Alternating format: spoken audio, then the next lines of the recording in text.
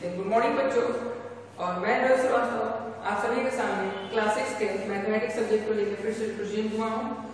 जैसा कि हम लोगों ने पिछली क्लास में नोइंग और नंबर से related seven digits number eight digits number और नाइन डिजिट्स नंबर के बारे में पढ़ा था। और उससे रिलेटेड हम लोगों ने उसका usage of comma expanded form reading and writing of seven digits eight digits and nine digits number के बारे में पढ़ा था। और इससे साथ साथ हम लोगों ने पढ़ा था कि एक्सपेंडेड फॉर्म उसका क्या होता है? और उससे रिलेटेड हम लोगों ने प्रीवियस क्लास में क्वेश्चन राइटिंग किया था या क्वेश्चन आंसर किया था। उसके डाउट क्लास आज आप लोग क्लियर हुए हैं। और आज मैं फिर नोइंग ऑफ़ नंबर्स के एक नए टॉपिक को लेकर प्रेजेंट हुआ हूँ, जिसका नाम है इंटरनेशनल सिस्टम ऑफ़ न्यूमरेशन देखो, जैसे में, हम इंडिया में रहते हैं और इंडिया एक नेशन है, वैसे ही पूरे विश्व में, अर्थात पूरे अर्थ पर बहुत सारे छोटे छोटे नेशंस हैं, ठीक है? और उस सेवन कॉन्टिनेंट में ये नेशंस आते हैं, या देश आते हैं।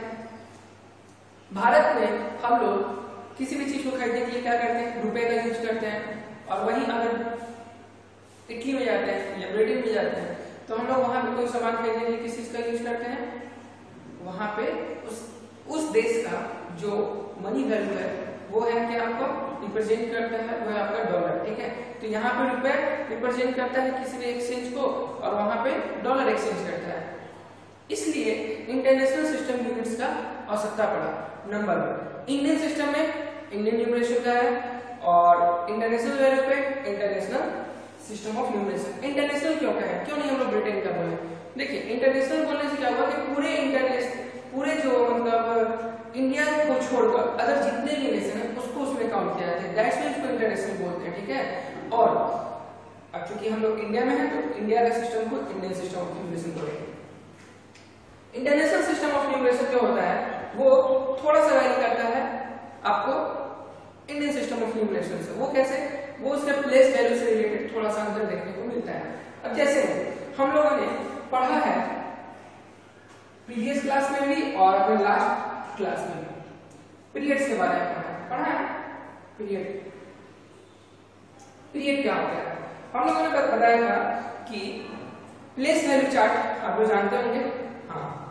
तो बताया था कि पीरियड्स बहुत सारे ग्रुपिंग में बैठ बटे रहते हैं और वो सभी ग्रुप्स क्या कहलाते हैं कलेक्टिवली प्लेसेस कहलाते हैं ना ओके और इटसेल्फ को क्या कहलाता है? पीरियड्स कहलाता है। जैसे में देखो।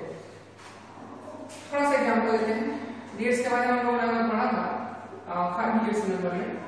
अगर देखिए तो हम लोगों ने बोला था कि वंस प्लेस वंस थाउज़ेंड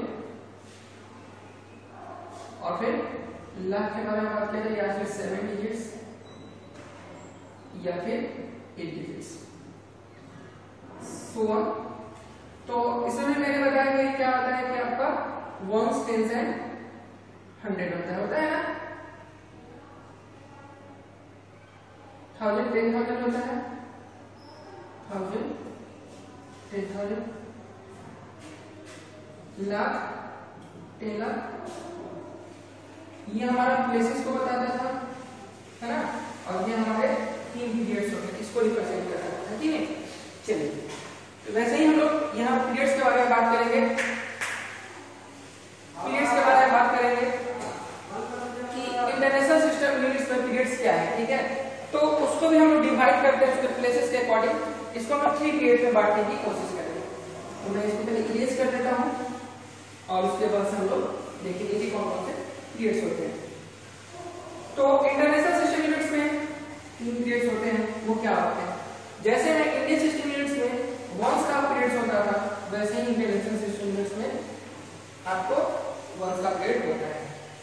जैसे इंडियन सिस्टम में होता था थाउजेंड्स का, वैसे न्यूमरेशन में भी थाउजेंड्स का पीरियड्स होता है। लेकिन, अब जो लाख का यूज़ होता था आपको, हम लोग का किसमें इंडियन सिस्टम ऑफ़ न्यूमरेशन में, यहाँ पे लाख का यूज़ नहीं होता है। इसको मैं कैपिटल लेटर से लिख देता हूँ, ताकि आप लोग ये समझ में आ जाए। यहाँ पे यूज़ होता है, वो होता है मिलियंस का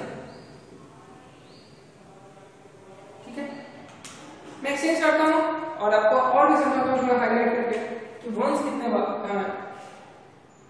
डेट्स में वंस पीरियड जो है कितने इक्वल पार्ट्स में बटा रहता है। वंस जो होता है आपको,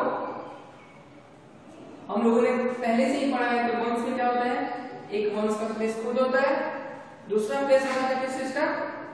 टेंस का। तीसरा प्लेस किस चीज़ का होता था होता था? हमारा हंड्रेड का। पता था ना? वेयर थाउजेंड्स में क्या होता था हमारा? इंडियन सिस्टम यूनिट्स में। वो होता था? बताइए। बोलिए। वो होता था हमारा थाउजेंड्स का। एक होता था हमारा थाउजेंड्स का। होता था वेरी गुड दूसरा हमारा होता था क्या? टेन थाउज़ेंड का।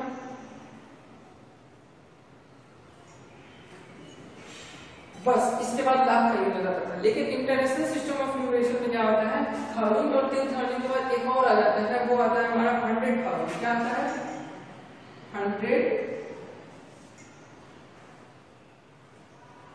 थाउज़ेंड मिलियंस में भी वैसे ही थ्री क्लासेस होते हैं पहला जो होगा वो होगा हमारा क्या मिलियन दूसरा हमारा होगा क्या टेन मिलियन का और तीसरा जो होता है वो होता है हमारा hundred million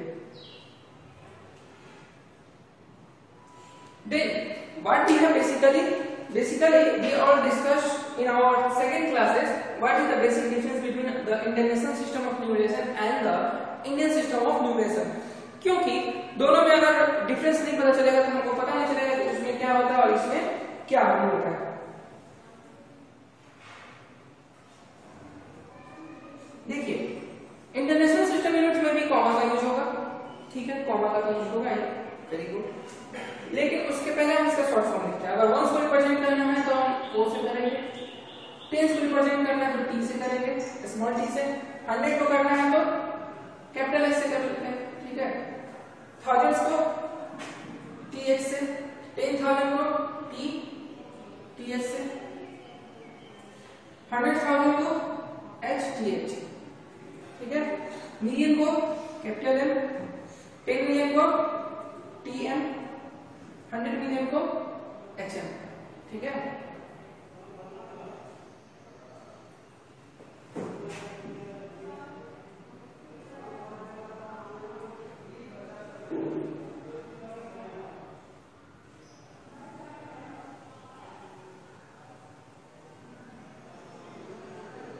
इस तरह हम क्या देखते हैं कि पीरियड जो होता है इंटरनेशनल सिस्टम में तीन इक्वल पार्ट्स में बटा जाता है, वो होता है वंस का, एक थाउजेंड्स का, एक मिलियंस का।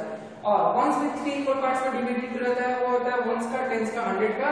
थाउजेंड्स में थ्री पार्ट्स में डिवाइडेड रहता है, वो होता है thousands ten thousand and hundred thousands similarly millions में क्या होता है थ्री इक्वल पार्ट्स में डिवाइडेड रहता है, वो होता है मिलियंस का टेन मिलियंस का एंड हंड्रेड मिलियंस का। देखिए, अब इससे रिलेटेड एक हमारा टर्म आता है, वो होता है यूजेज ऑफ़ कॉमा कॉमा का यूज़ कहाँ हो जाता है? यही तो मैं पुट करता हूँ यूजेज ऑफ़ कॉमा कोशिश करता हूँ, इसको समझाने का।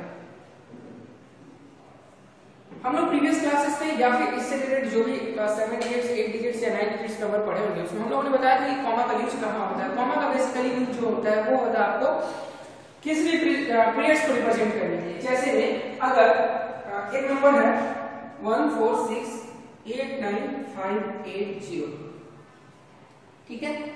इसको अगर हमको रिप्रेजेंट करना है तो इंटरनेशनल सिस्टम में कैसे रिप्रेजेंट करेंगे इंडियन सिस्टम को आई थिंक आप लोगों को अच्छे से आता है।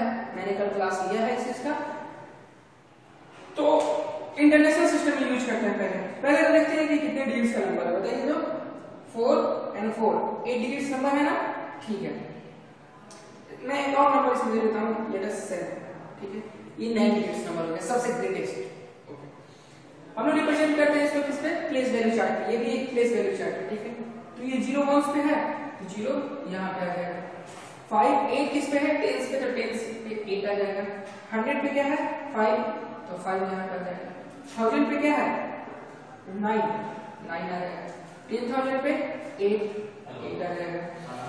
हंड्रेड थाउज़ेंड पे सिक्स सिक्स आ जाएगा। मिलियन पे फोर फोर आएगा टेन मिलियन पे वन मिलियन पे सेवन सेवन आएगा इस तरह से ये जो होगा हमारा रिप्रेजेंटेशन हो किस चीज़ का प्लेस वैल्यू चार्ट पे नाइन डिजिट्स नंबर का रिप्रेजेंटेशन हो गया इंटरनेशनल सिस्टम ऑफ़ न्यूमरेशन है। अब, इसको हम सिस्टमेटिक वे में कैसे लिखेंगे? अगर हमको इसको इंडियन सिस्टम में लिखना रहता तो हम कैसे लिखते बताइए तो आप सभी। ओके वेरी गुड जब हम इसका डिफरेंस करेंगे तो हम लोग इसको अच्छे से जानने का कोशिश करेंगे।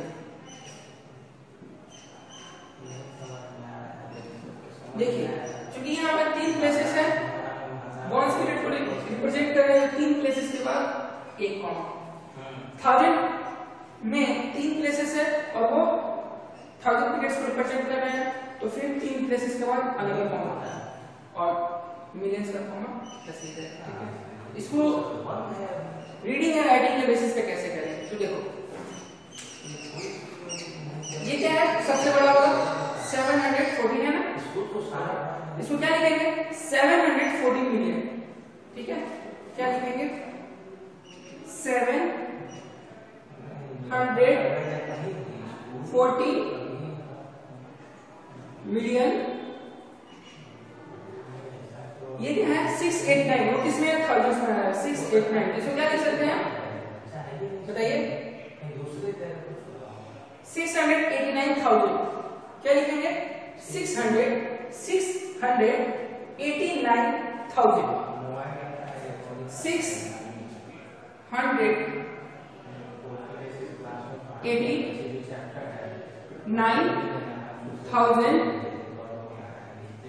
ये कितना है? Five eight zero five hundred eighty very good five hundred